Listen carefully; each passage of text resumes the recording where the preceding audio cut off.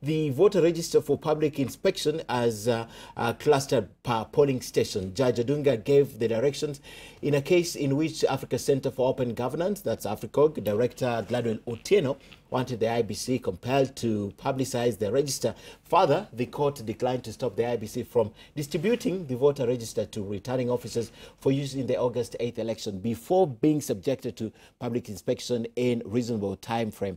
Now, the court said that there, by doing that, it will be interfering with the preparations for the general election. Seku, this is uh, also very important. Yesterday, the landmark coming just a few, it was four days before the election. Today's three days, and uh, the 48 hours is about to elapse. I think it's elapsing tomorrow morning. Um, what are we looking at here? Because on one end, they are asking for the register. On the other, they are telling the court, please stop them from issuing this. Why? Yes. Oh, okay. Um, a little bit of history there.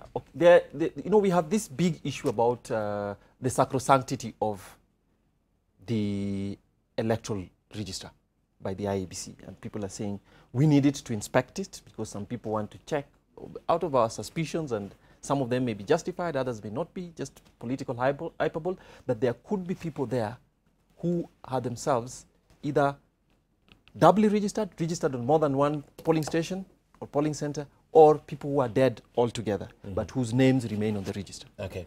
So the reason for this is that somebody wants to, to be able to inspect so that if you know, for instance, that Seku claims to be registered in Nairobi, but you're also seeing another Seku winner claiming to be registered in Mombasa, then the issue arises.